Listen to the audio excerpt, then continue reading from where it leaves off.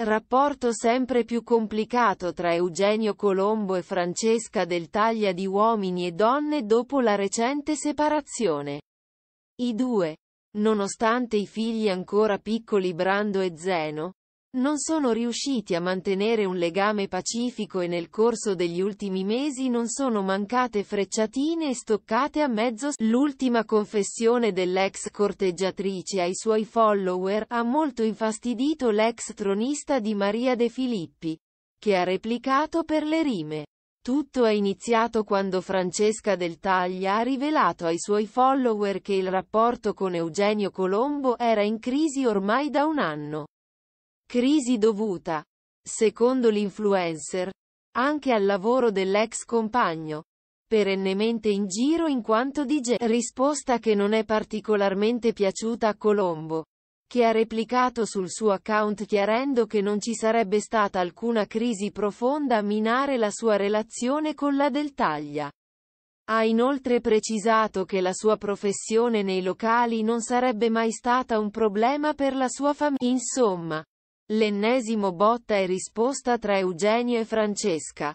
Fino a poco tempo fa una delle coppie più solide e unite di uomini e donne. I due non sono mai diventati marito e moglie nonostante la nascita dei bambini, tanto che la Del Taglia ha puntualizzato di non aver chiesto l'aiuto di un avvocato o un giudice dopo la rottura. Abbiamo trovato accordo noi. Economicamente ognuno fa il suo. Quindi non ce n'è stato bisogno. Ha spiegato la donna.